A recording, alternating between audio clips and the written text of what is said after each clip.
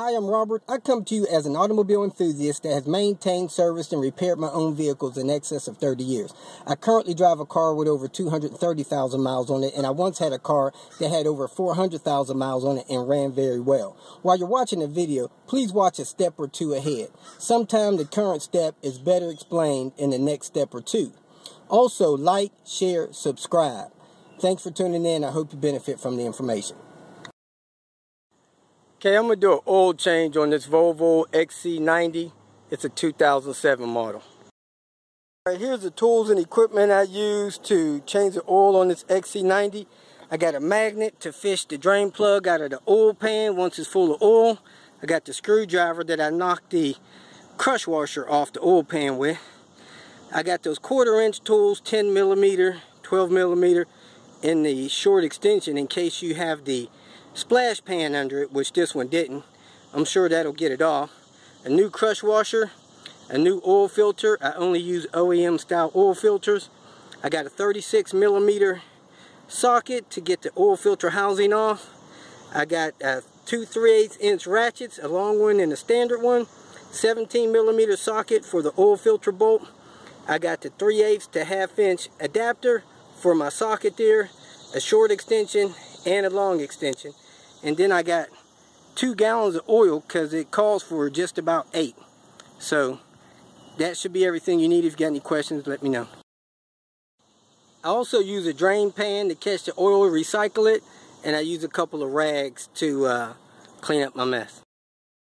Okay, the hood support on this is weak, so I went on ahead and supported it with that uh, piping I have.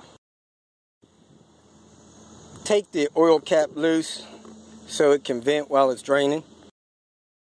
Go under the vehicle a little bit toward the passenger side. This car doesn't have a splash pan under it, so the oil bolt is right there, a little bit on the passenger side of the drain pan, of the oil pan. So I'm going to go ahead and remove that bolt to start draining the oil out. Make sure you have a good sized drain pan because that's supposed to be almost 8 quarts in there and it was a 17 millimeter bolt. So if your bolt's original, it should be about a 17 millimeter. Next thing you want to do is take your 36 millimeter half inch socket, put it on the oil filter housing and turn that off because that's where your oil filter cartridge is if you don't have a 36 millimeter socket, a standard large oil filter wrench will fit on that housing. Just a little hard to get it on there and get it loose. Okay, that's what the oil filter housing looks like with the cartridge on it. So you go ahead and swap that out, put the new cartridge on. Okay, to get the filter out of the housing, you just pull it real hard. The new one fits in there pretty snug. Push it all the way down as far as it'll go. Then the uh, seal, I went on ahead and pulled off the old seal. I lubricated the new seal with oil before I put it on. Now I'm going to go ahead and screw it back on the housing. Take a glance in there, make sure everything looks fine, which it does. So I'm going to go ahead and screw this filter on there. Alright, the torque setting is right there on top of the oil filter housing. So you can use that to set the torque.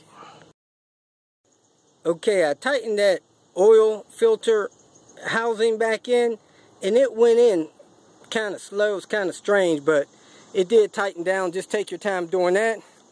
Then I came down here and installed the oil bolt in the pan.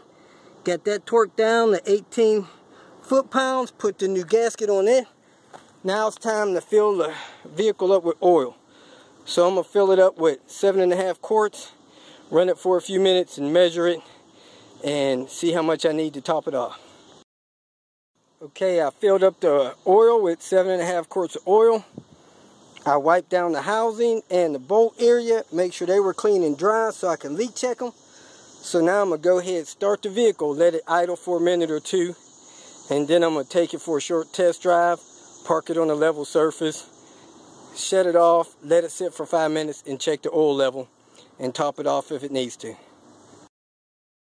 If you feel that this information was beneficial, please like it and share it with your social media friends. You can also subscribe to my channel so that you can get notification of future videos that I post. Visit my channel, I have all types of do-it-yourself videos there. You can leave questions here and I'll try to respond to them as quick as possible.